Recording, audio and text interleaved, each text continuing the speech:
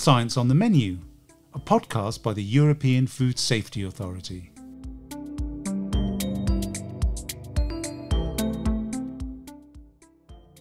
Hello, everyone, and welcome back to Science on the Menu, uh, the podcast series by EFSA, the European Food Safety Authority.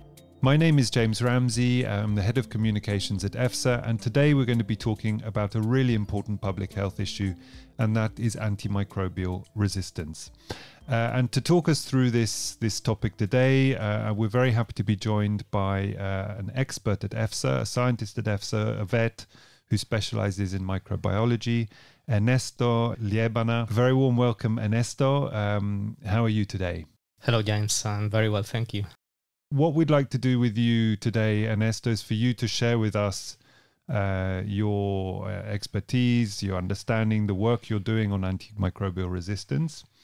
Uh, so I've got a series of questions for you, but what I'd like to do at the start, just really to put put the whole thing into perspective, um, is to talk a little bit about what we mean by antimicrobial resistance. And maybe the best place to start there is by actually just talking about what antibiotics are. So, can you start us off uh, with an answer to that question? Sure, yes, uh, with pleasure. So, the first thing to say is that when we talk about antimicrobials, we're not only covering antibiotics, which are, I think, the substances we will talk about today. So, um, antimicrobials in general are, are, substances we use to treat infectious diseases, let it be viral diseases, bacterial diseases, or parasitic diseases. But um, what is the most uh, concerning public health issue uh, right now is the uh, the problem of resistance to the medicines we use to treat bacterial infections. Those are the ones we call antibiotics. And what are they? Basically, as I said, they are medicines that we uh, administer to people or animals to combat uh, infectious diseases. And uh, they kill bacteria in the vast majority, or some of them inhibit the possibility for the bacteria to grow. Most of them are found in nature, so they are produced by other microorganisms, but also most recently, or recently in the last uh, kind of 20, 30 years, some synthetic molecules have also been developed. So this is basically what we call uh, an antimicrobial.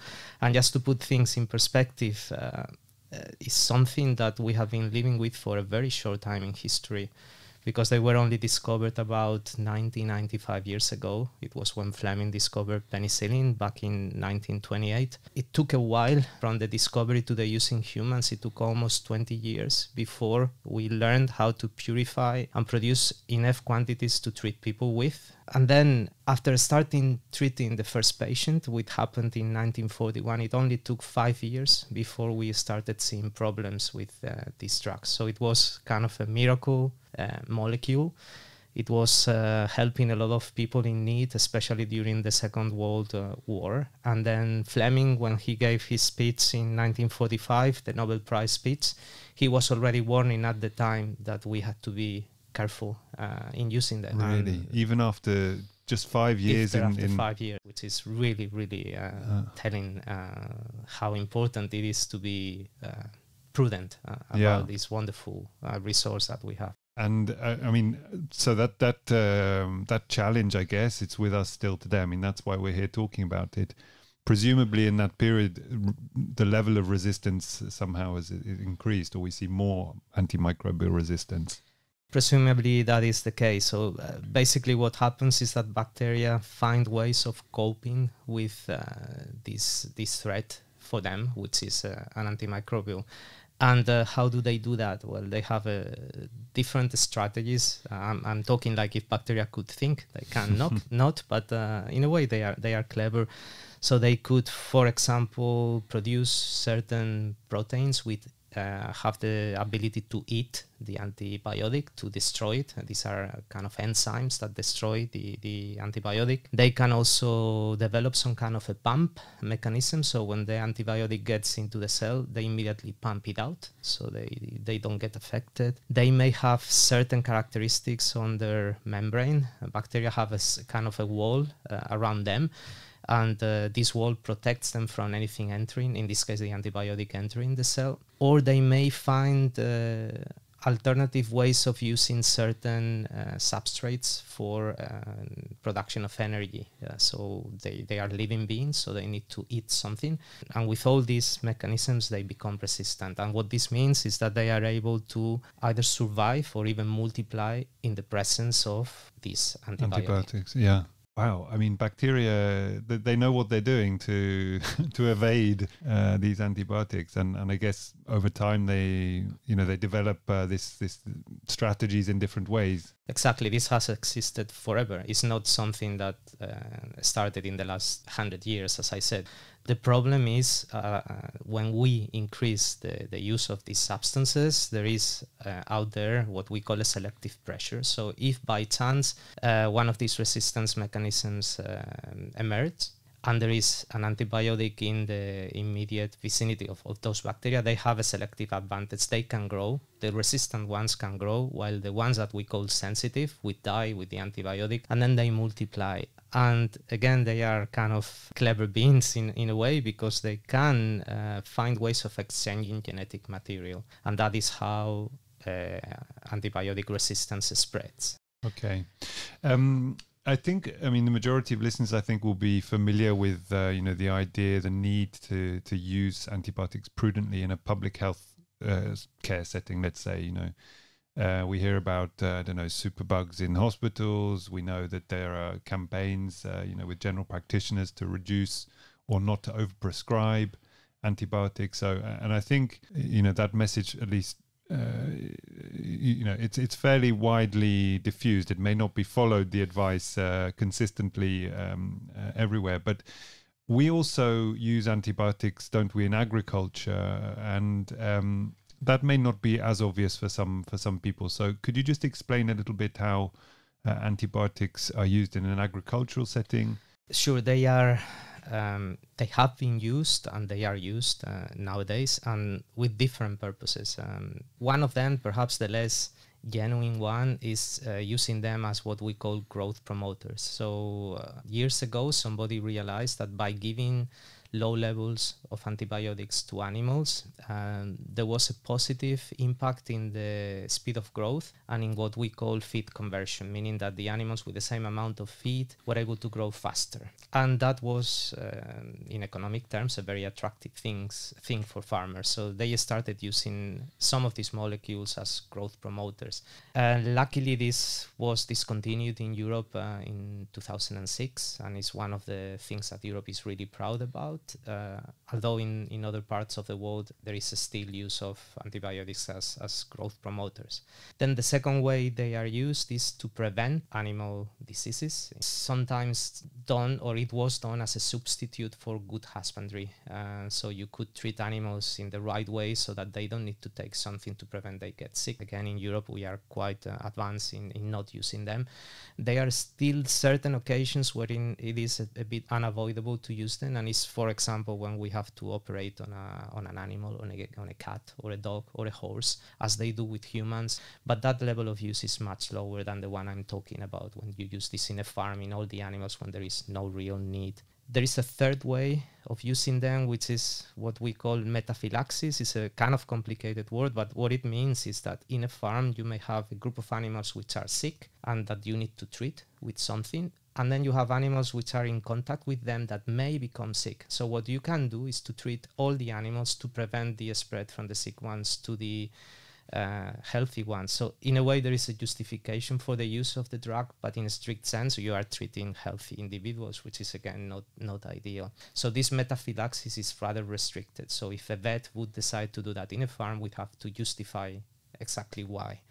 And then the, the last, more intuitive uh, way we use antibiotics in animals is to treat when they become sick. And, and that is absolutely necessary because it's part of keeping their welfare. Uh, you have to still have something to treat them when they get infectious sure. diseases. Sure. And, and this is what we try to protect that the resistance do not hit those uh, animal bacteria which cause them uh, disease. Um, yeah. So, I mean, it seems like there are, um, you know, a couple of uh, policy initiatives or rules in place that have already been made to, to, you know, prevent the overuse of antibiotics in agriculture. You mentioned the phasing out of uh, of growth, uh, you know, used for growth promotion. What are what are the alternatives then? You know, if, if you're a, if you're a farmer or if you're a vet, uh, I mean, what are some of the alternatives to antimicrobials, antibiotics in an agricultural agricultural production uh, system?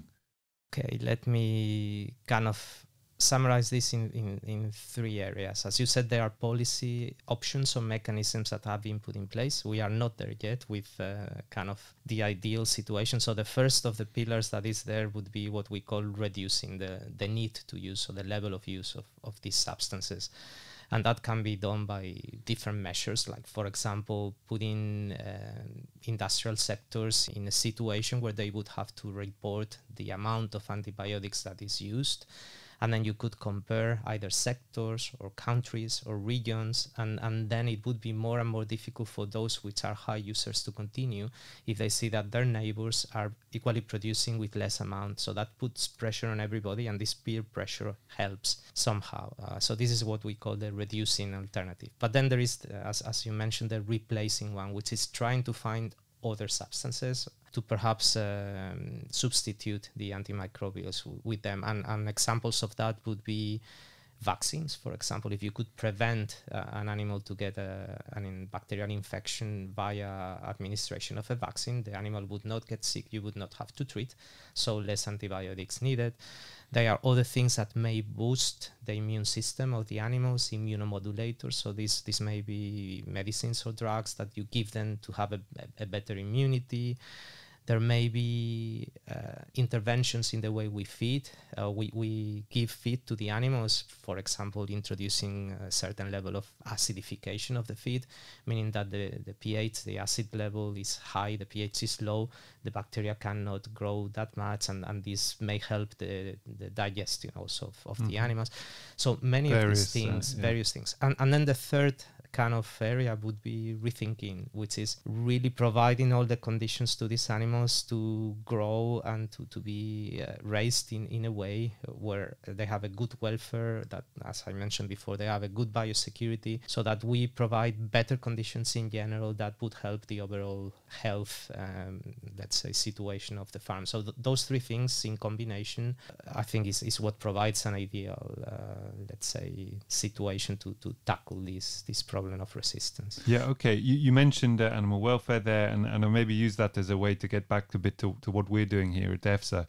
So, could you just explain our role? Uh, you, you, know, what is it that EFSA is doing in the area of an- antimicrobial resistance? Yeah, the, the, the first very important thing we do is to monitor the situation. So, the European member states they have to have a look at what is the the level of resistance in certain bacteria in certain animal species. So, they every year have to get a number of samples, grow from them uh, a number of bacteria, test them for resistance to antimicrobials, and then report all that data to us. So every year we get all that data and produce a, a, report. And this report is a joint report with our colleagues in ECDC. They do the same thing for humans, and then we put all this data together.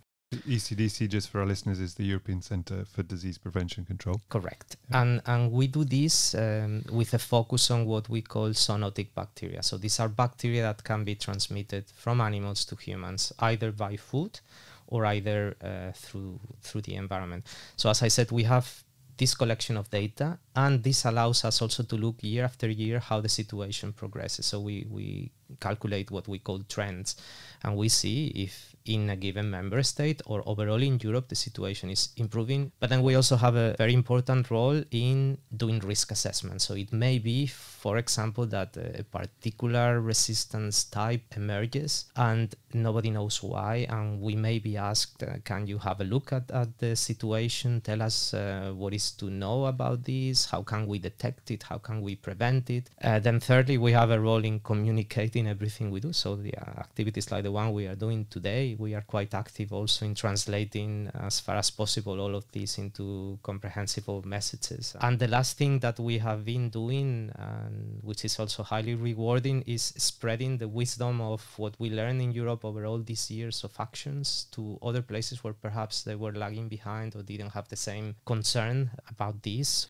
Yeah, okay, just maybe to, to stick on the international aspect for, for a moment. So, um, I mean, obviously at EFSA, we're concerned mainly, or looking at least, uh, mainly at uh, the, the, sort of EU picture. How would you characterize the kind of cooperation that happens at a global level? I mean, we know it's widely recognized as a global public health challenge. Are different jurisdictions further ahead of us, uh, behind us? Uh, how are we working together?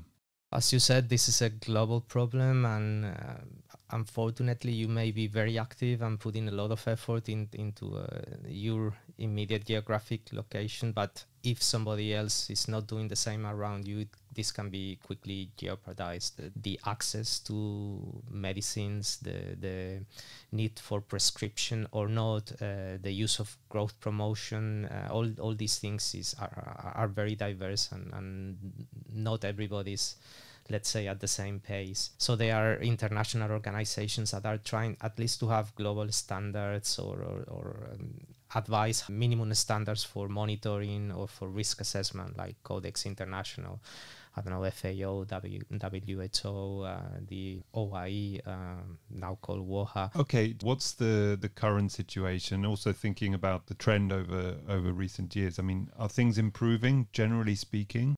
Okay, it's a complex uh, question. Um, in some areas, yes, we are improving. You cannot put everything in, in the same basket. If we talk about, for example, levels of general use of antimicrobials, certainly in the animal sector, we have seen a constant and a steady decrease in use, which is okay. uh, good news. The level of consumption in animals was higher than the level in humans, while now the lines have crossed and it's the other way around. We are seeing this type of, of trends. The good news is that when we monitor what we call resistance to highly important antibiotics, so these are molecules that we use as last resource when we get really ill uh, and the doctors have to think about what to use, we see that the levels of resistance to those uh, antibiotics are still low in general, relatively low uh, or, or low in, in Europe, although we see also differences in different locations like north, south, east, or west. So you mm-hmm. can still see that there is progress to be made. Unfortunately, the bad news is that to those antibiotics that are very commonly used, the levels of resistance to these common drugs are still high, in some cases even very high. That tells us that this is still a problem and that um, there is something to, to be done there. Uh, and that is an important message that we should not just give up and continue. The situation did get better in the use. We are still observing important levels of resistance to some. This, this is what we call nowadays a One Health approach. And I think it's clear that unless all of this uh, is taken care of, because it's all connected, we would never succeed mechanisms. Yeah. So we have to be watching out really that there is not a change in, in that because that would be a disaster. Yeah.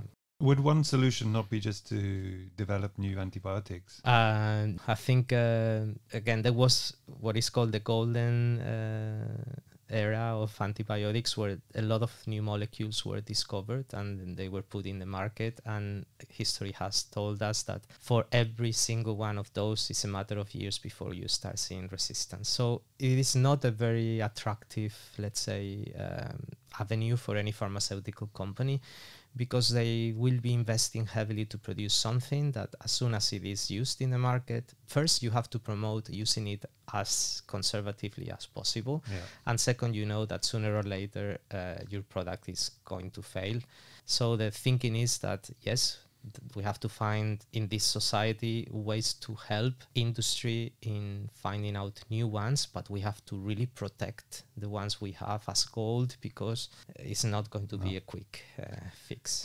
Thanks very much ernesto. Um, I mean, you've really given us a great uh, overview and insight into, um, you know, the challenge, the public health challenge that is antimicrobial resistance. Maybe just before we close, um, you know, I could ask you if you were to pass one simple message, or you know, you wanted to convey something that you think is really important on this topic. What would it be?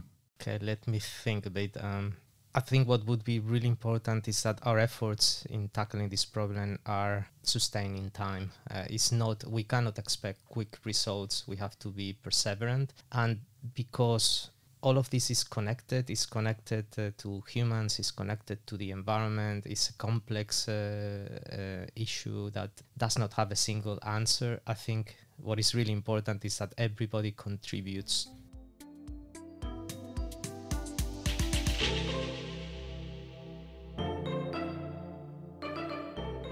So that's all we have time for today, listeners. Thanks very much for joining us again on this podcast series, uh, Science on the Menu. If you are enjoying what you hear, please feel free to subscribe.